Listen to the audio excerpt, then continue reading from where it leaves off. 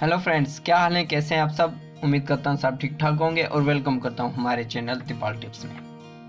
देवर weavers आज मैं आपको क्लोमेट टैबलेट 50 मिलीग्राम के बारे में इंफॉर्मेशन दूँगा कि इस टैबलेट के बेनिफिट क्या हैं साइड इफ़ेक्ट क्या हैं और कैसे इस्तेमाल करते हैं।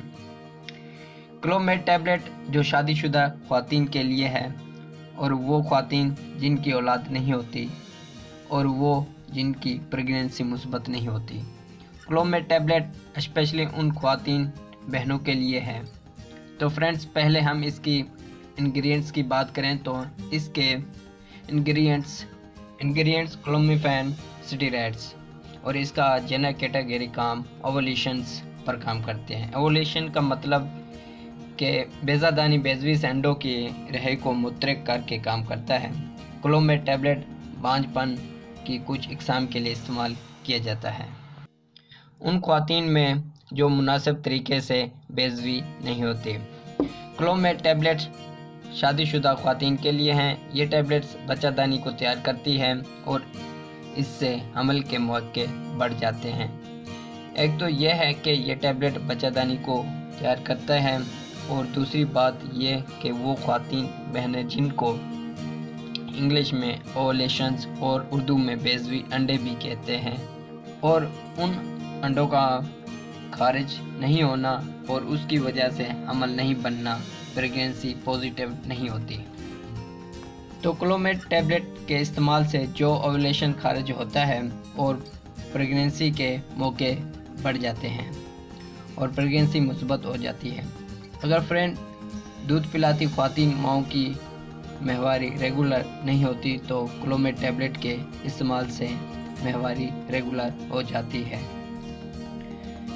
अगर फ्रेंड्स प्रेगनेंसी मुस्बत होने के अलावा इसकी खासियत ये भी है कि जो ब्रेस्ट फीडिंग खातिन माए हैं, अगर उनके मेंसेस का मसला हो तो ये टैबलेट इस्तेमाल करने से मेंसेस रेगुलर हो जाते हैं। और मेंसेस के रेगुलेट होने की निशानदेही है कि प्रेगनेंसी पॉजिटिव हो जाती है। और हाँ अगर मेंसेस रेगुलर नहीं होते तो प्रेगनेंसी भी नेगेटिव हो जाती है। फ्रेंड्स अब इसके यूजेस के बारे में बताऊँ कि इस टेबलेट को कैसे इस्तेमाल करना है। इसकी खुराक महवारी यानी मेंसेस के तीसरे दिन से शुरू करें और आठ दिन तक इस्तेमाल करें। एक गोली यानी एक टेबलेट रोज़ाना खाना खाने के बाद अगर दूसरे महीने तक अमल नहीं होता तो फिर मेंसेस के तीसरे दिन से एक गोली सुबह और एक गोली शाम को खाना खाने के बाद इस्तेमाल करें। अगर तीसरे महीने में भी हमल मुस्बत नहीं होते तो फिर इस्तेमाल ना करें। आपसे एडवाइस की जाती है कि इस टेबलेट का इस्तेमाल करना बंद कर दें, क्योंकि प्रेगनेंसी उस वजूहत की वजह से मुस्बत नहीं होती, जो ये टैबलेट रिकवर नहीं कर सकेगी। देर वेवर्स अब आते हैं क्लोमेट टैबलेट के साइड इफ़ेक्ट की तरफ़। इस टैबलेट को लेने से ये साइड इफ़ेक्ट हो सकते हैं। मतली आ सकती है, मसल स्पैन, यानी पठों में दर्द हो सकता है, उल्टी हो सकती है, एलर्जी हो सकती है, सर चकरा सकता है, और सांस लेने में तकलीफ़ हो सकती है।